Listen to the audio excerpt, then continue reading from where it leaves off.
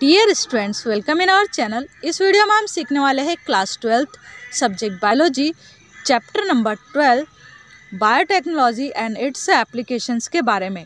यहाँ पर हम आज इस चैप्टर को स्टार्ट कर रहे हैं। इसका जो फ़र्स्ट क्वेश्चन है, वो हम यहाँ पर डिस्कस करेंगे। फ़र्स्ट क्वेश्चन में क्या पूछा है यहाँ पर? Can you suggest a method to remove oil यानी कि hydrocarbon from the seed based on R D N A technology and chemical oil chemistry of oil क्या कहा है यहाँ पर कि क्या आप यहाँ पर जो R D N A technology है, इसकी हेल्प से जो ऑयल सीड्स होते हैं, जैसे मान लो ये सोयाबीन का एक सीड है या सरसों का सीड है तो इसके अंदर इसका जो न्यूक्लियस रहता है सेल का, उसके अंदर इस टाइप से डीएनए प्रेजेंट होता है। और डीएनए के ऊपर जिन प्रेजेंट होते हैं। क्या प्रेजेंट होते हैं? जिन। तो अगर हम ऑयल का फॉर्मेशन करने वाला जिन यहाँ से निकाल दें, क्या करें? ऑयल फॉर्मिंग जो जिन है, उसे अगर हम यहाँ पर निकाल दें तो ये जो सीड है, इसके अंदर फिर ऑयल का सिंथेसिस नहीं होगा। यानी कि नेक्स्ट जनरेशन में जो प्लांट्स आएँगे, उनके जो सीड आएँगे, वो ऐसा रहेंगे कि उनमें ऑयल प्रेजेंट नहीं रहेगा। तो ये हम कर सकते हैं बायोटेक्नोलॉजी की हेल्प से, यानी कि जेनेटिक इंजीनियरिंग की हेल्प से हम इस टाइप के सीड्स का भी फॉर्मेशन कर सकते हैं। तो इसके लिए हमें क्या करना होगा? अगर हम स्टेप बाइज यहाँ पर प्रोसेस देखें तो क्या कहा यहाँ पर? To remove oil from the seed using recombinant DNA technology would involve ये जो आर है ना, यहाँ पर आर डीएनए लिखा है, इसका मीनिंग क्या है यहाँ पर? कि रिकॉम्बिनेंट डीएनए टेक्नोलॉजी की हेल्प से हम यहाँ पर ऐसे सीड भी प्रिपेयर कर सकते हैं, जिसमें कि ऑयल बिल्कुल भी प्रेजेंट नहीं रहेगा। जिसको ये जो आर टेक्नोलॉजी है, यानी रिकॉम्बिनेंट डीएनए टेक्नोलॉजी है, इसी को हम जेनेटिक इंजीनियरिंग भी कहते हैं। तो इसके लिए हमें क्या करना होगा? सबसे पहली स्टेप में, हमें फ़र्स्ट स्टेप में क्या करना है? ऐसे जिनको आइडेंटिफाई करना है जो ऑयल फॉर्मेशन के लिए रिस्पॉन्सिबल होता है किसी भी सीड के अंदर। ठीक है, जो भी हम सीड ले रहे हैं, उस सीड के अंदर जो डीएनए है और उसके ऊपर जो जिन प्रेजेंट है, हमें क्या देखना होगा, पहले पहचानना होगा कि इसमें से बहुत सारे जीन होते हैं। तो कौन सा जीन है जो कि ऑयल फॉर्मेशन के लिए यहाँ पर रिस्पॉन्सिबल है इस डीएनए पर, उस जीन को हमें यहाँ पर आइडेंटिफाई करना पड़ेगा। फ़र्स्ट पॉइंट में क्या कहा? Identify the gene that code for oil production. Oil production करने वाले जीन को हमें सबसे पहले क्या करना है यहाँ पर? आइडेंटिफाई करना है। फिर दूसरे पॉइंट में क्या कहा है? Deleting this gene from the seed genome. अब जो जिन हमने आइडेंटिफाई किया है, इसे हम क्या करेंगे? डिलीट कर देंगे। यहाँ से इसे किसी न किसी टेक्निक के थ्रू डिलीट कर देंगे। अगर जिन ही डिलीट हो जाएगा तो फिर वो यहाँ पर ऑयल का सिंथेसिस नहीं कर पाएगा। नेक्स्ट है इसमें splicing back together the remaining DNA जो डीएनए बचा हुआ है, अगर उसमें थोड़े बहुत कुछ खरोज बन गई है तो उससे हम क्या करेंगे? स्प्लीकिंग करेंगे मतलब फिर से उस डीएनए को हम अच्छे से रिपेयर करके कंप्लीट कर देंगे, ठीक है? फोर्थ पॉइंट में क्या करेंगे? Putting it back into cell और वापस से ये जो डीएनए हमने निकाल के उसका जो जिन डिलीट किया था, उस डीएनए को वापस से हम सेल के अंदर ट्रांसफ़र कर देंगे। It will be not be very easy because the oil are made up of fatty acids ये जो टेक्नोलॉजी है, वो इतनी इजी नहीं है और ऐसा करने से जो प्लांट के सीड के दूसरे कैरेक्टर्स हैं, उनको भी नुकसान पहुँचता है। जैसे यहाँ पर क्या कहा है कि जो ऑयल का जो जिन होता है, यानी कि जो जिन ऑयल बनाता है सीड के अंदर, वही फैटी एसिड एंड ग्लिसरॉल का भी फॉर्मेशन करता है। तो अगर हम ऑयल का फॉर्मेशन नहीं करवाना चाहते हैं तो वहाँ पर हमें फिर फैटी एसिड एंड ग्लिसरॉल का फॉर्मेशन भी नहीं मिलेगा। और अगर फैटी एसिड्स यहाँ पर नहीं बनते हैं तो जो सेल की मेम्ब्रेन है, जो आउटर कवरिंग है, ये जो सेल के आसपास जो सेल की ये मेम्ब्रेन होती है, इस टाइप से, वो मेम्ब्रेन का सिंथेसिस भी नहीं होगा। और अगर सेल की मेम्ब्रेन नहीं बनेगी ना तो जो सेल है, उसका जो स्ट्रक्चर है, वो डिस्टर्ब हो जाएगा। ठीक है, क्या होगा? जो सेल है, उसका जो स्ट्रक्चर है, वो डिस्टर्ब हो जाएगा। तो इसलिए ये टेक्नोलॉजी इतनी आसान भी नहीं है। अब नेक्स्ट यहाँ पर क्वेश्चन है find out from internet what is golden rice क्या पूछा यहाँ पर कि आपको इंटरनेट से फाइंड आउट करना है कि गोल्डन राइस क्या होते हैं? तो गोल्डन राइस क्या है?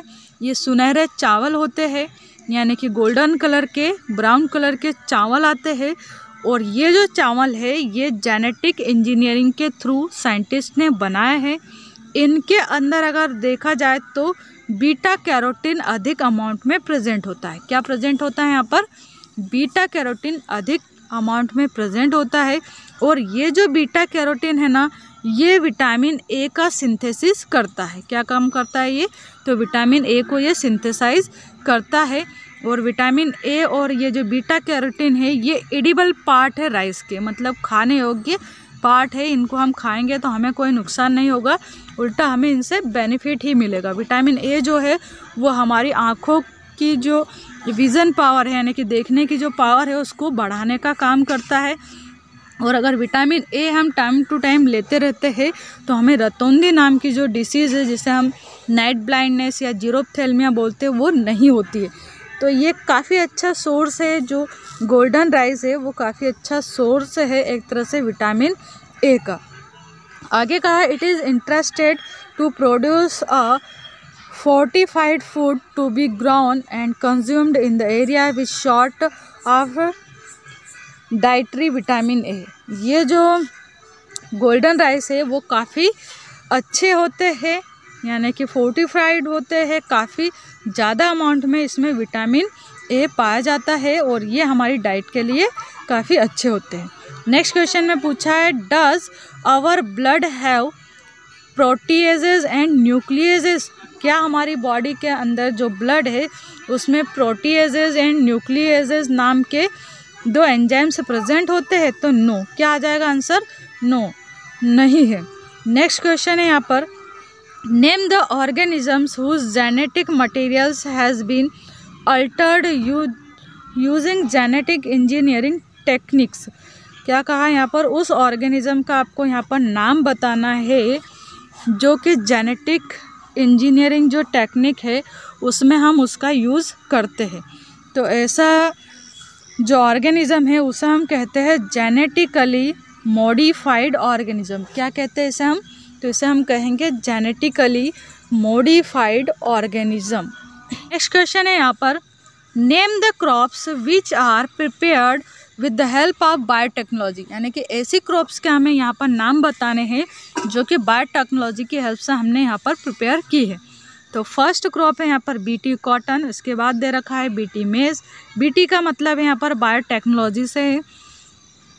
इसके अलावा दे रखी है paddy, tomato, potato and soybean. ये सभी ऐसी क्रॉप्स है जिनके हमने बायोटेक्नोलॉजी की हेल्प से नए टाइप के सीड्स बना लिए हैं।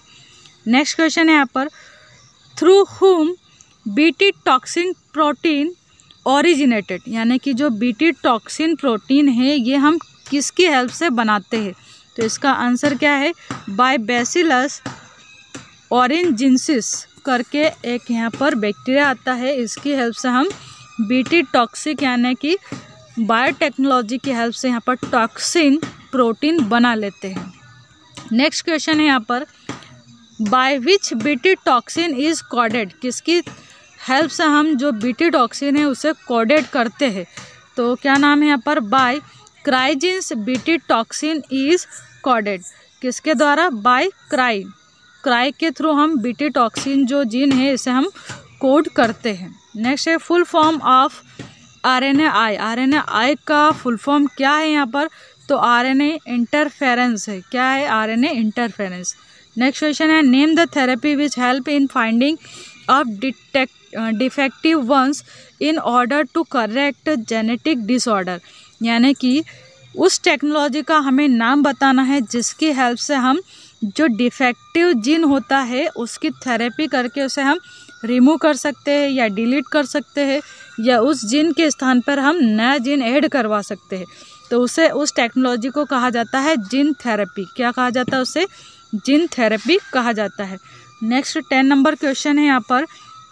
Give the scientific name of bacteria in which BT toxin forms उस बैक्टीरिया का हमें नाम बताना है, जिसमें बीटी टॉक्सिन का फॉर्मेशन होता है। तो क्या नाम है यहाँ पर? बेसिलस ट्यूरिन जिनसिस क्या नाम है? बेसिलस ट्यूरिन जिनसिस ऐसे नेक्स्ट क्वेश्चन है इलेवन नंबर क्वेश्चन है यहाँ पर। आज का लास्ट क्वेश्चन रहेगा है what do you mean by golden rice explain जो गोल्डन राइस है, वो क्या है? एक्सप्लेन कीजिए।